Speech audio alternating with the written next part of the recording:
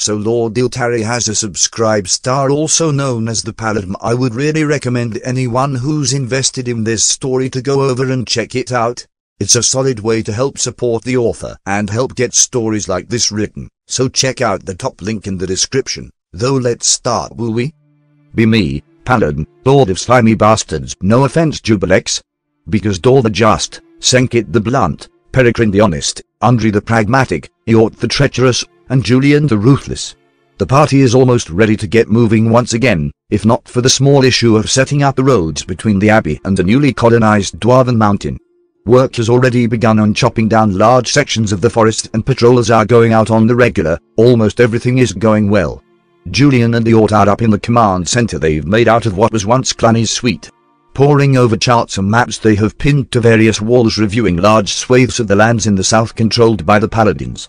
Patrol routes are marked out, monster dens are highlighted depending on their various state, detected, scouted, clearing, cleared, and detailed lists of local formations are laid out.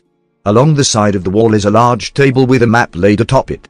Various wooden blocks representing different units and individuals lie across it, with a cluster of dice nearby.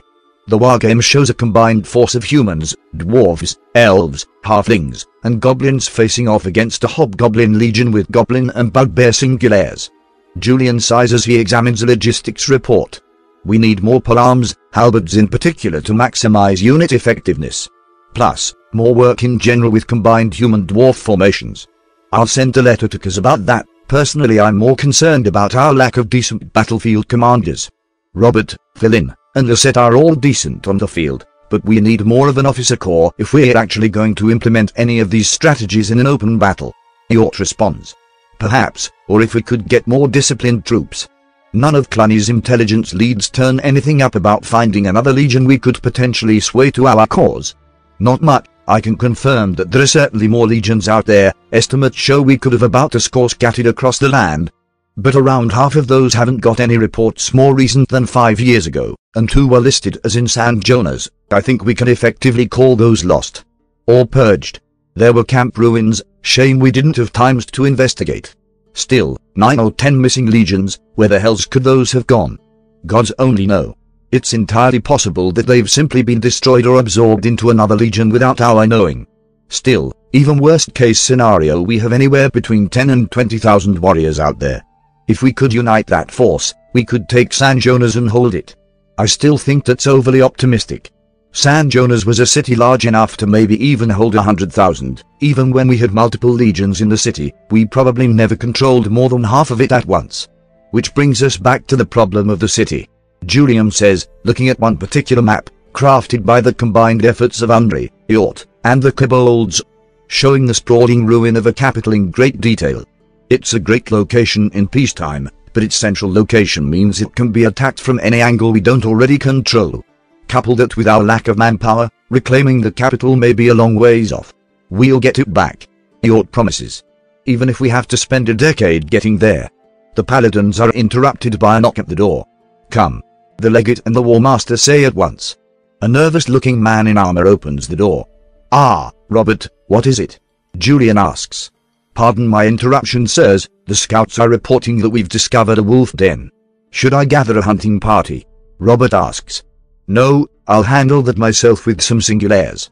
If we play our cards right that could potentially be another unit or two of Wolf Cave. Apologies Julian, we'll have to continue our match later. No issue, go, we need that cavalry. Julian says, dismissing his officer and the Ort. He smiles as the two leave. Decent commander that Robert needs to take more initiative though.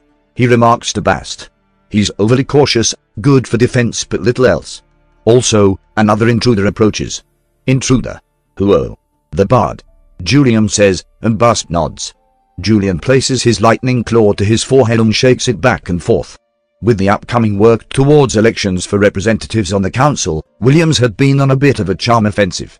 Julian couldn't really blame the spoony bastard, he'd done the same thing to ensure his own popularity before pushing the constitution, but it was ever so slightly obnoxious. Williams entered without bothering to knock. Ah, cheers Lord Tyran, I was just passing by and thought I'd say hello. Julian will do, Williams. Tyran is the name I give to fairies and employers. You're not nearly as fair as you pretend to be, and I stopped working for you several months ago. Julian responds casually. Ah, well, Lord Julian it is. Williams answers with a manicured smile as he seemingly absent-mindedly reaches down and pets Bast. Kill him. Kill him now and kill him slowly. The fiendish familiar demands, though it doesn't do anything. Trust me, I'd love to, but I need something of a casus belli. Then at least make him stop. Bast practically begs. You know I'm not really a cat, and this is simply demeaning. Well, while you're here, care for a game of chess? Oh, well I have played some, and may as well. Could be a good bit of experience for during one of my shifts in a hunting party. Indeed. I find it's a decent tool for evaluating a person's strengths and style in command. Even though a situation where you're perfectly matched on entirely flat terrain is so oversimplified as to be insulting. Julian responds as he draws Williams away from Bast before the familiar. Makes a horrific mess in the map room. The Aasimar sets up a simple chess game and Bast thinks pleasant thoughts involving the bard, a barrel of lemon juice, and a cheese grater. I'll take white if you don't mind. Julian says as he takes his seat. Oh, and no magic please. Oh, wasn't planning on it. It sounds like there's a story there though. Ah, happened while I was serving some petty king or another. His court sorcerer used magic to read my mind while we were playing. I didn't find it out until after I had left. I simply thought he was rather good at chess. Julian tells his story, faking a minor flush of embarrassment. Several moves take place as he talks. Really? Well that's not quite sportsmanlike. William says sympathetically as he moves his knight. No, not really. Julian responds, moving out a bishop. But it was rather effective. I would imagine so. Williams responds. Knowing your opponent's thoughts, or anyone's thoughts really. Quite a handy trick. Would have saved me more than a few stained shirts when I was starting out. The game continues in the background of the conversation. Since neither I nor Julian's player actually played chess, I'm not going to even bother trying to recreate the game that plays out. To summarize how it goes in broad strokes, Julian begins setting up a complex series of traps that allow him to maneuver across a large portion of the board unmolested. But there is a large gap which Williams exploits before he can complete his net. The worst part was I didn't even realize. That's part of the reason I wrote the office of Lord Commander the way I did. Ah, it's multiple people to prevent any one person from falling under a spellcaster's sway. Yes, I'm well aware of the power even a small bit of magic can do, believe me. Julian says, one of his eyes flashing ever so briefly with the flicker of light passing between his eye and the bard's. It actually became quite a problem when we fought that mind flayer in San Jonas. Julian moves his king forwards. HM, it can certainly be the cause of no end of trouble, at least for everyone but the midge in question. The witty bard says with a mild grin. He moves up his queen. Check. Julian moves his king to the side, and Williams moves up his knight. Checkmate. Good game. Indeed. I'll see you around Williams. Julian responds as Williams gets up and heads out. What the devil was it about? I've seen you win in less than two moves from that same setup. You could have taken his queen and then checkmated him with your knight and your bishop, but you retreated like an amateur. Bast asks the Aasimar curiously. The funny thing about that strategy is you have to bait the trap. You have to get them to use their rooks to plug the net they think they see so the king can't castle, and then put out your king to show weakness so they'll bite. Julian responds as he packs up the board. Though personally, I think it works better if you're black. Somewhat later that same day, Julian wanders his way into the chapel where Senkit is praying, as usual. She raises an eyebrow as she sees he's carrying something. Julian, there had better be a damned good reason why you're carrying a bouquet of flowers, and a bet is not a good reason. No, these are a bribe. I have far better things to do than try to seduce a remarkably voluptuous brick wall. Julian admits. I need a slightly strange favor. Julian. Why is the god's names did you feel the need to bribe me, and what in all nine hells and a tenth thrown on for good measure possessed you to think that flowers was enough of a bribe? Even assuming I'd take those. Nothing, but the attempt is strange enough and the favor weird enough that you're going to go along with it out of slightly morbid curiosity. Again, with this favor, what is it? I just need you to be standing by the entrance to Cavern Hall when me and Williams walk into the next meeting. And the next meeting to be one where we start to discuss who we think would make good candidates for the election. This is once again weirdly specific and makes me think you're up to some manner of mischief that's going to end with some manner of food on my face or perhaps a lack of clothing. Trust me, it's entirely the opposite. This is an overly complicated but entirely necessarily sure way of putting an end to a certain batch of mischief that I cannot specify for reasons that will become apparent once my plan goes into effect. Senkit stares at his deadpan expression, then sets the flowers on fire. You're acting strangely, so I'll be there, because I highly doubt you would make this much of a fool of yourself unless you had a very good reason. It was either this or leave the flowers with a note in Kaz's handwriting style, and I figured I'd rather just have just you trying to kill me if it went wrong rather than you and Kaz together. Because he can fly too. Senkit pulls out her mace. Get out of my chapel. Now. Julian wisely complies while his family jewels are still intact. This is entirely unnecessary, we could just kill him. Bast chastises him, but Julian shrugs. True, but this makes certain I'm viewed as righteous even after a bit of murder, and it gives me an excuse to mess with the good abbess. I don't allow myself too many indulgences, I don't drink heavily, pursue women, or eat overmuch. I will at least allow myself the small joy of messing with people who are in great need of rectal surgery to remove a column or two. A day later, Senkit does hold to her word and calls a meeting to begin to discuss who would make good candidates for the new council. Julian arrives early, and after having Bast confirmed that Senkit is in position, he leans by the wall and waits.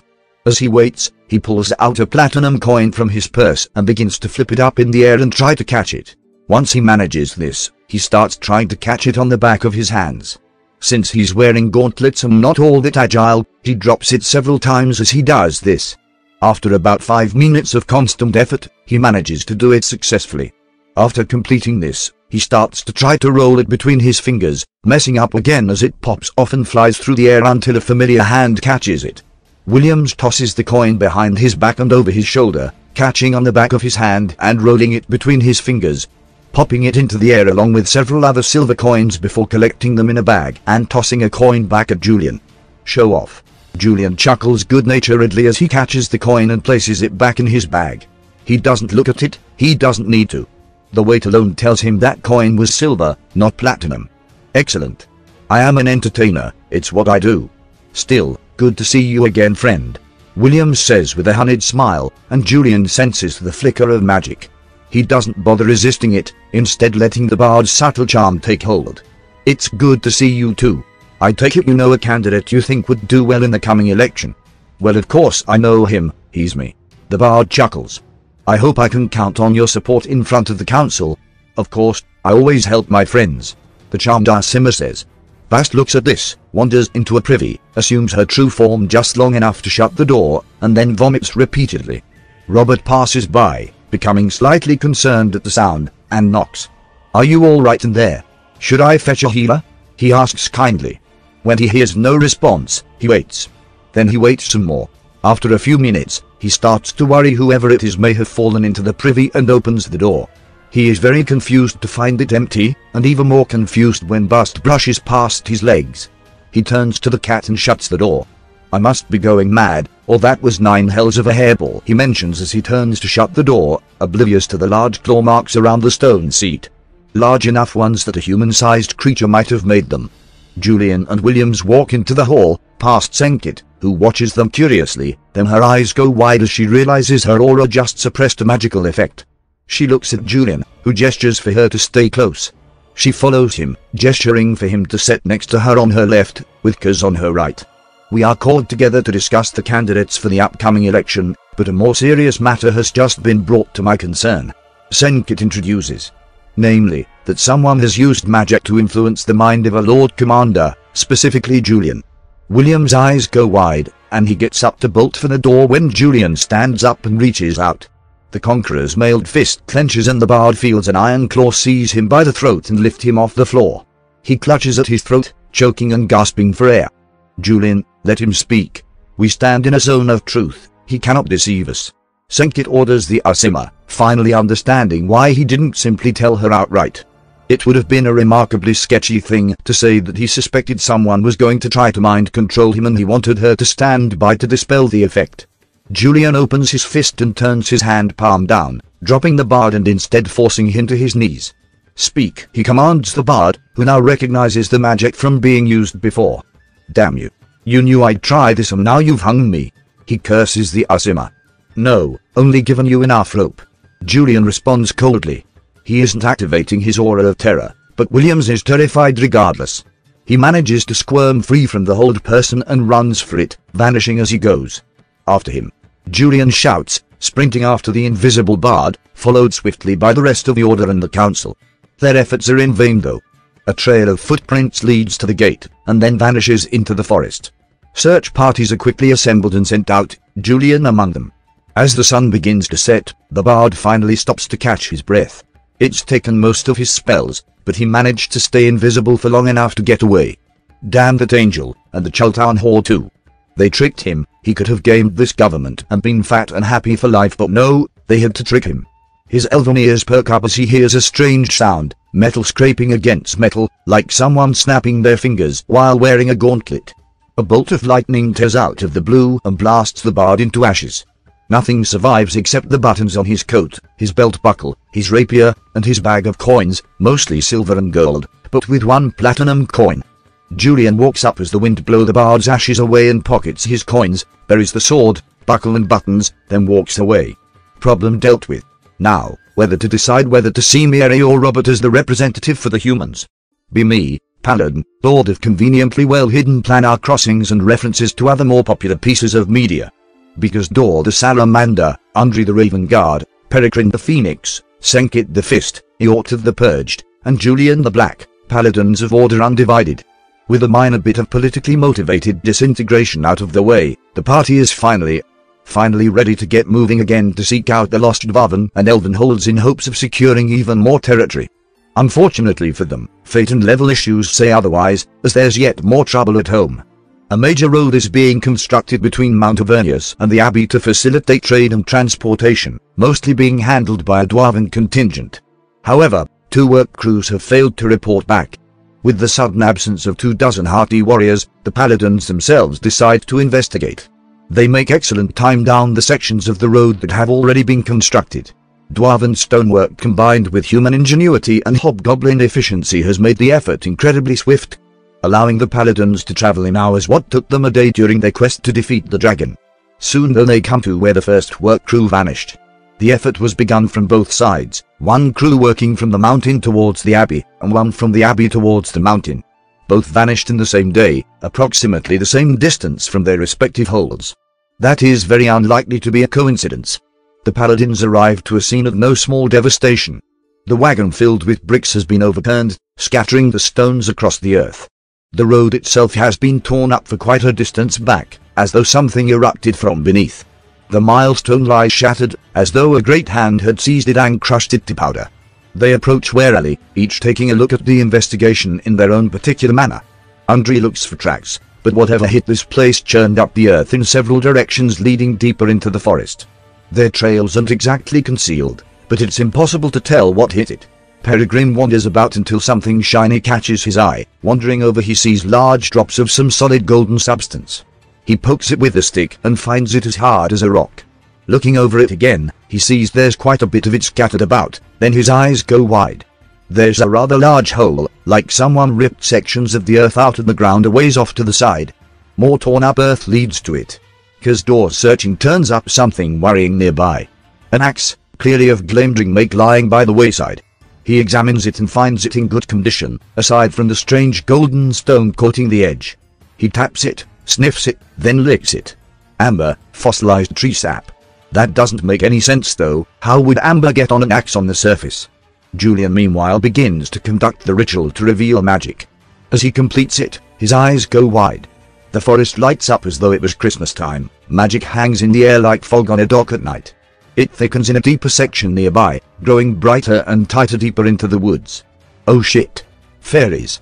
He hazards a guess. This place is very close to the Feywild after all. I get a bad feeling we annoyed them. He continues to search and notes the amber on the axe Kazdor is holding also gleams with magic. It's strangely similar to the glow of fresh blood, and there's other bits scattered about. He follows it over and finds the whole Peregrine is investigating. Similar magic is rooted into the earth around here, only very recently disrupted. Julian drops the spell, intensely suspicious.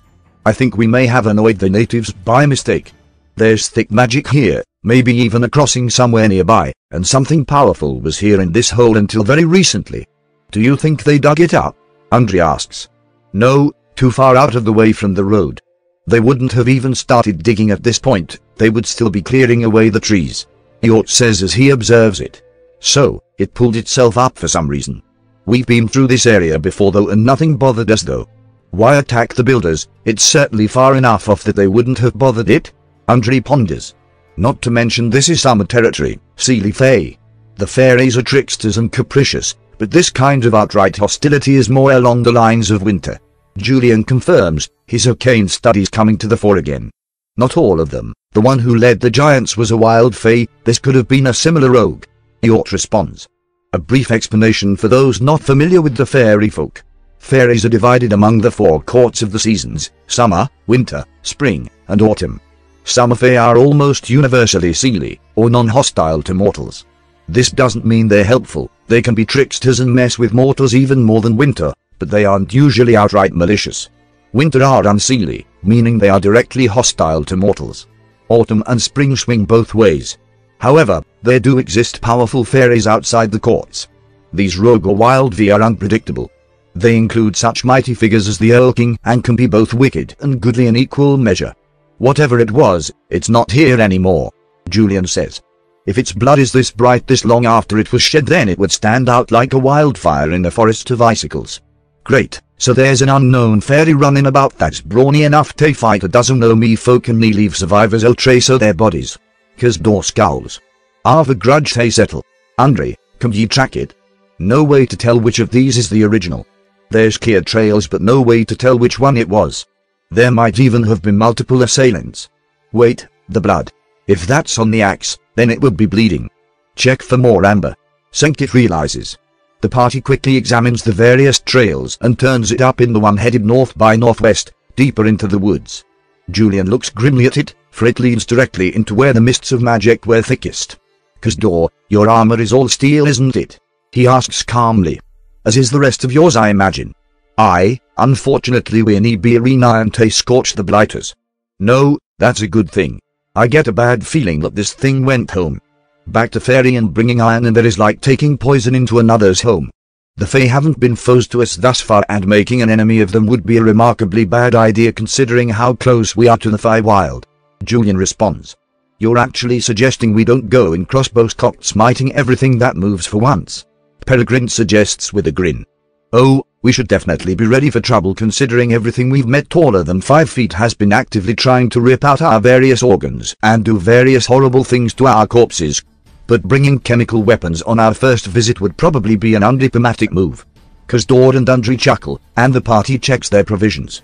They've got enough food and water for a journey, and they do have a fine excuse to get away from the politics when given the option between pursuing a monster into another plane of existence which they have very little information on or doing more administrative and political nonsense.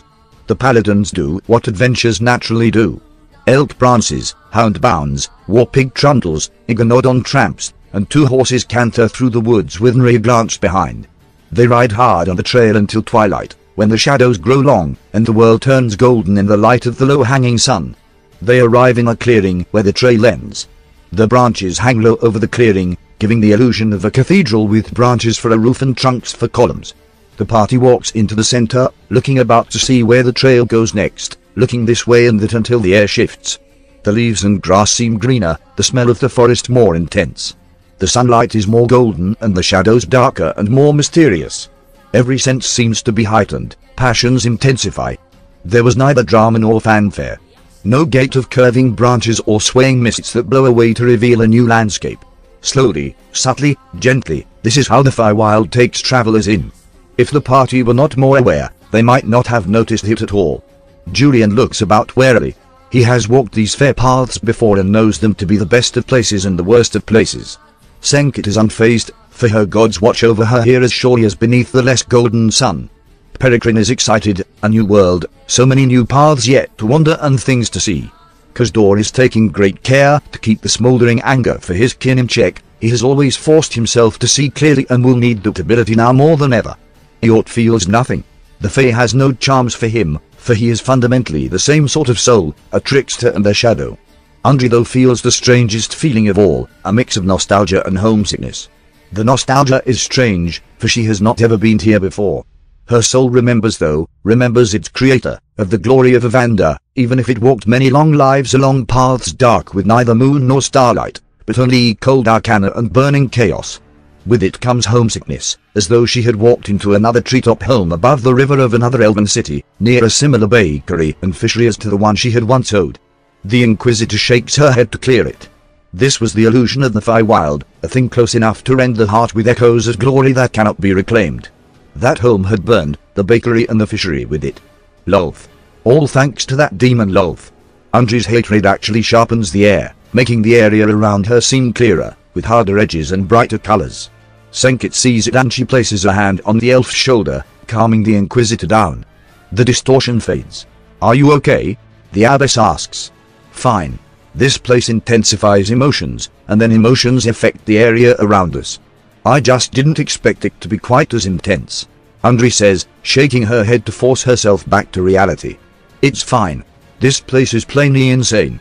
Let's find our missing dwarves, or the monster that killed them, and get out of here. Julian says bluntly. He and the rest look around, but there's nothing new revealed. If not for the change in the air and the emotional arousal, they could have been back in the mortal world. The trees are in the same place, the trail they followed is still there, the sun is wait a minute.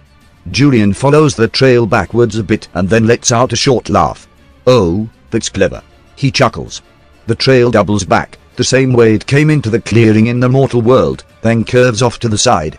He waves the others over and they get moving, following the new trail westwards. The day does grow dim though, and the sun sets. The party summits a hill in the last hour or so of the dying light. It is well worth it. The sunset here is unlike anything any of them have ever seen, a magnificent wonder of spiraling, swirling colors like petals of countless prismatic shades all stemming from the golden sun. Even stoic Senkit has to stop and admire it for a while. The party rouses itself from its reverie as a cold wind blows across the hill, reminding them of the coming night. They quickly set to work on setting up their camp and cooking dinner. Peregrine's food tastes especially good tonight, though whether this is because of the Fey atmosphere, the appetite they've worked up with travel, or simply a particularly well-made meal none can tell. They set their watches, though this time all six take a shorter shift. The stars are bright and the moon brilliant, such that even Kazdor and Peregrine can see well enough. Even after their shifts are done, each member lingers a while longer gazing up into the heavens. The brilliant stars twinkle like gemstones on velvet, in colors not seen in the mortal realm. The constellations are strange and new, and great bands of scarlet and indigo light the heavens like the Milky Way of our world. During Undri's shift, her keen ears catch the sound of pan flutes. Looking to the sound, she spies a far-off clearing, with satyrs and Eladrine dancing the night away, deep in their cups. Undri knows better though than to follow that gay festivity, for the wild dances of the Fae are perilous for mortals. And I'm using gay in the original sense of the word, not to imply homosexuality, though there's probably a fair bit of it as well. Not all the sights of the Fae are so benign though. Kazdor hears a hunting horn during his watch and turns to look for it. Near the horizon, he can see a great mass of shadowy, predatory figures riding across the night. At their head is a great creature, the height of a giant, yet regal as a king. His face is enshaden, his form hung with the pelts of mighty beasts. A horn is in his hand and a hunting spear in the other. He is crowned with brambles in the shape of antlers, and his eyes are fire. The burning eyes of the Earl King turn and see the sharp sapphires of the Dragon Prince. The hunter raises his spear, as though beckoning Kazdor to come and join him. Predatory instincts rise, to hunt, to feast, to burn, to gather and to hoard. Sivrid and Kazdor both feel the call of the wild hunt. Fortunately, Kazdor is accustomed to suppressing his baser urges, and stands his ground to refuse the Earl King's call. The shadowy lord rides on, and door stands his watch alone. The party rests the night away in remarkably intense, but pleasant dreams, and awakens, Peregrine still not entirely certain if he is awake or yet dreaming. Kazdor relates the night's events, and Julian's eyes go wide. The Aasimar lets out a low whistle. Well, thank whatever gods are listening that we weren't camped over there. The wild hunt. Bloody Helkers, you've glimpsed something as rare to see and live as it is great and terrible. If I were a superstitious man I'd call that nine hells of an omen. Kazdor shrugs nonchalantly. Ah, I'm neither type to go along with fairy nonsense, even though the laird leading the hunt seemed my sort. Julian just shakes his head and chuckles, before the party continues on its way following the strange trail. It continues on for another few hours before it abruptly stops in a bog.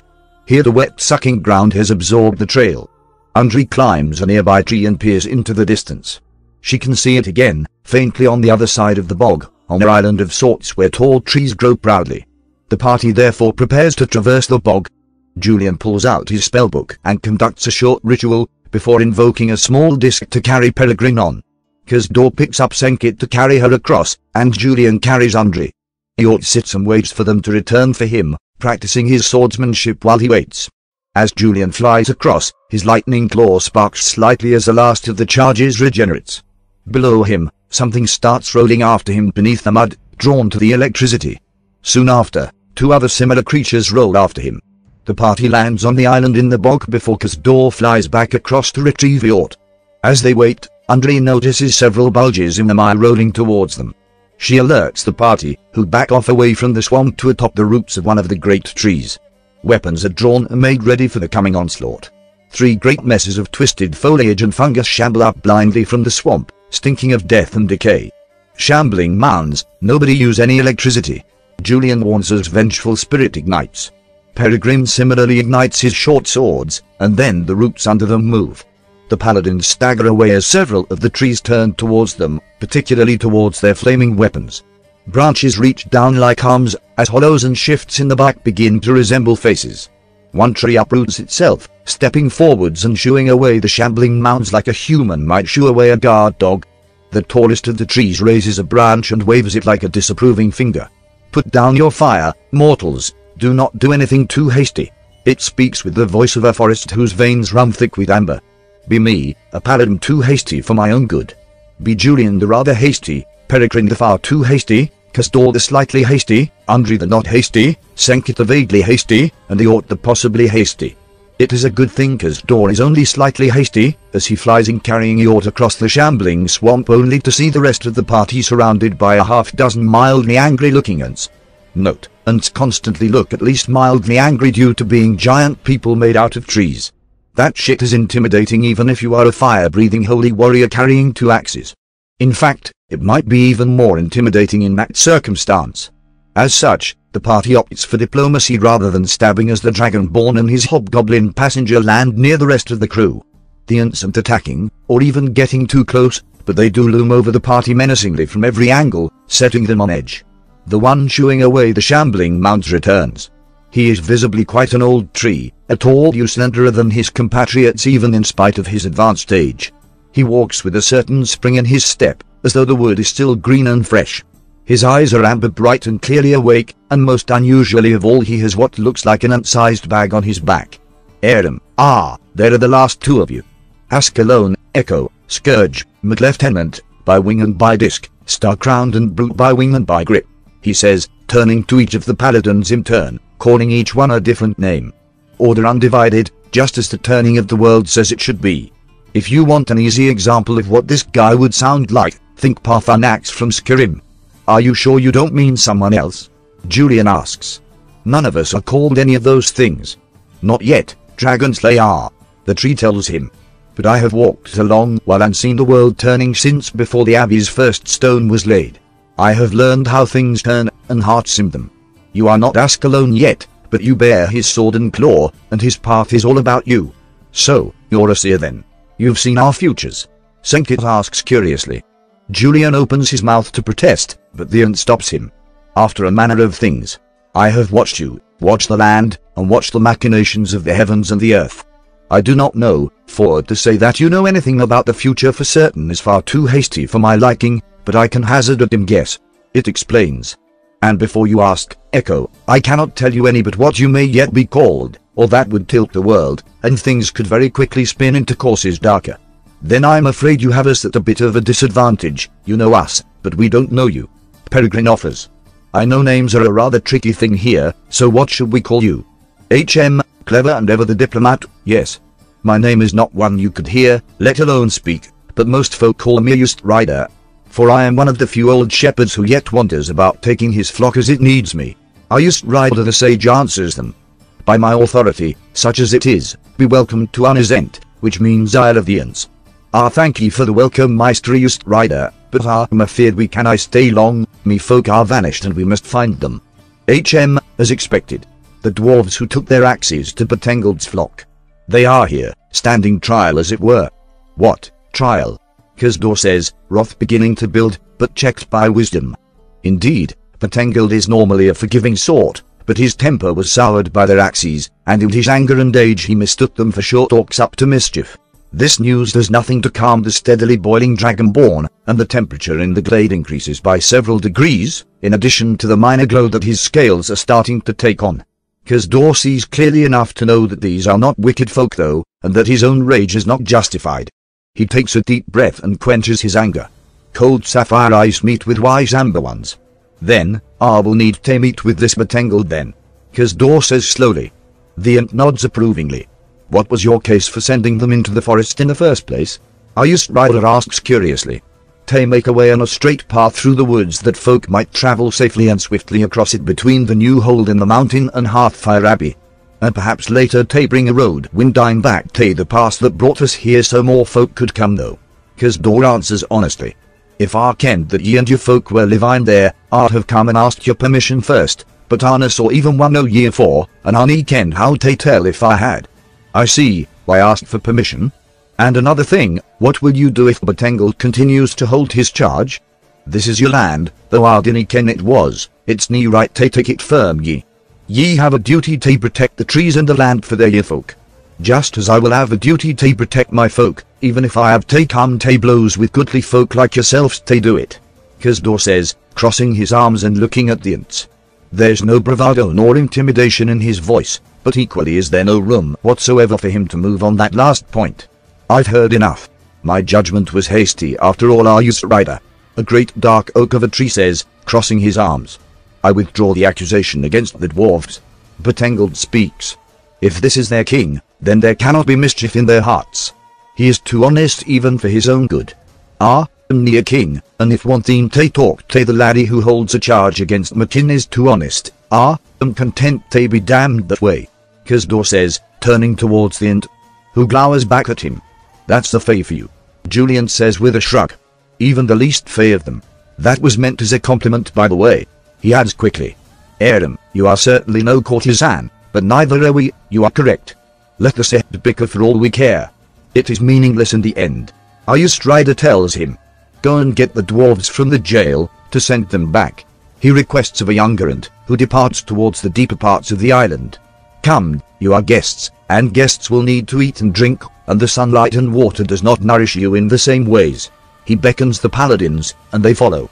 He leads them to a great stone building held together not with mortar, but entirely with careful positioning of each individual stone. What makes this feat even more impressive is that the stones are not carved, each one is as though it was lifted off the ground and simply added to the building. In spite of this, it stands as tall and broad as any mead hall and seems as sturdy as even a dwarven fortress. Kazdor looks at this in no small amount of wonder, though the rest of the party doesn't appear to share his enthusiasm for stonework. How the devil did ye craft this then? He asks a used rider, who chuckles. Even raw stone and boulder makes fine mortar if one takes their time with it, Aram.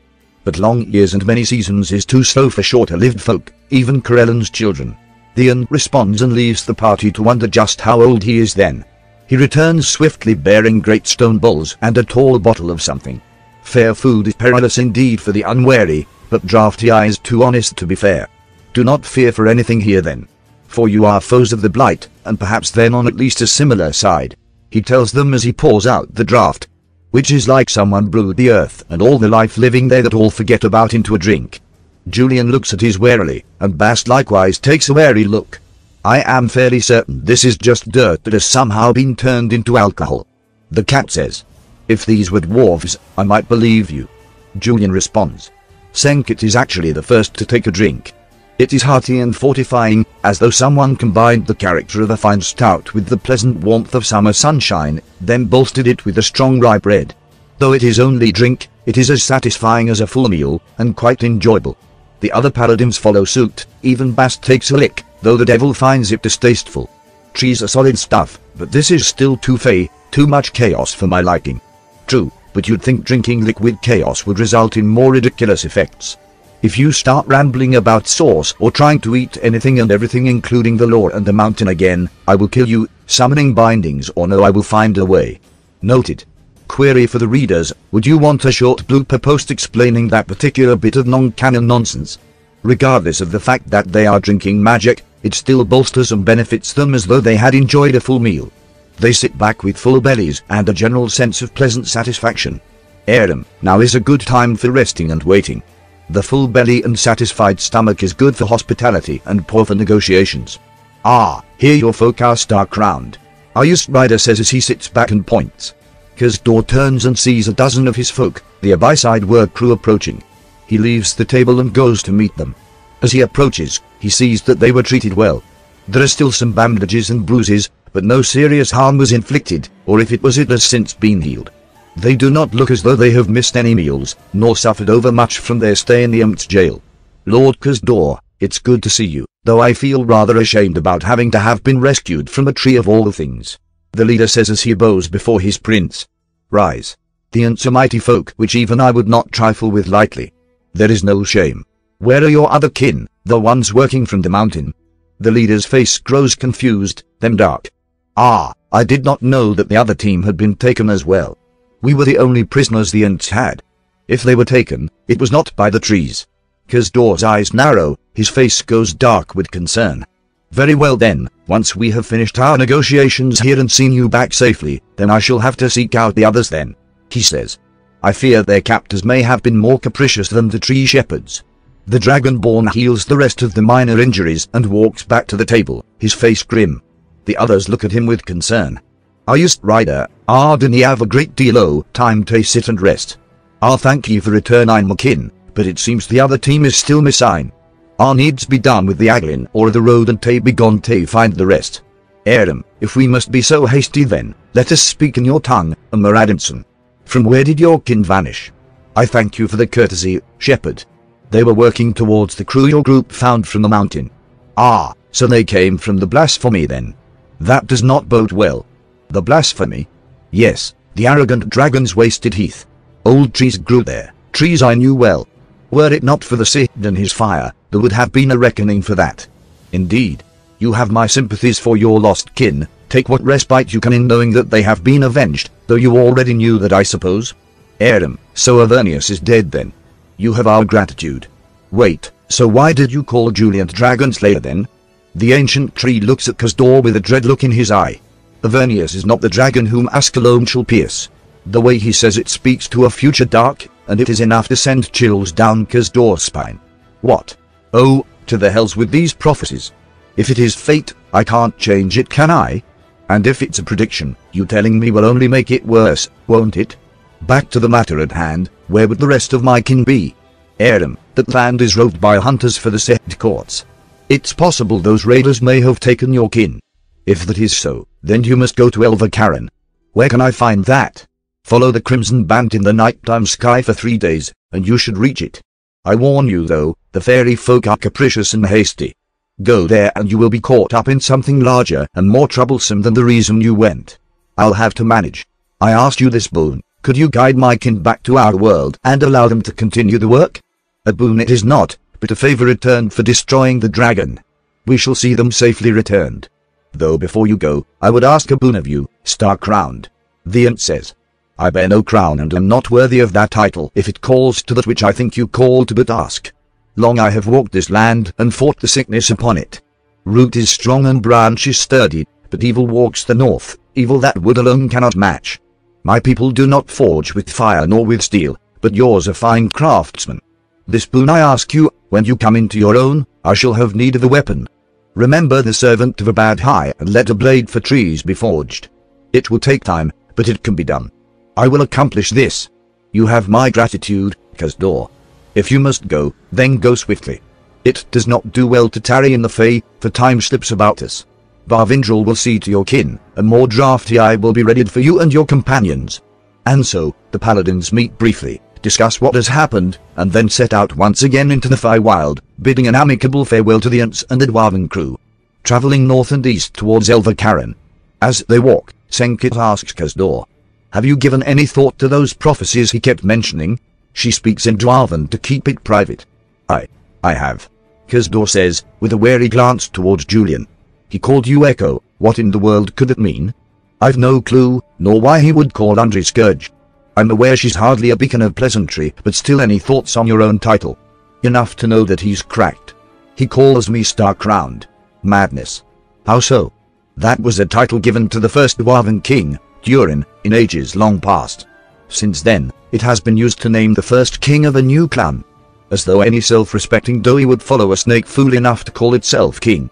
Kazdor says with a bitter laugh. Senkit says nothing, and the two walk on. Still though, it reminded me of the old song, and this land is one for singing. He says as he leads the party on and begins to sing an old song as they march. The Song of Ancient Kings rises from the Fey Forest floor as the paladins march onwards, the weight of prophecy upon them.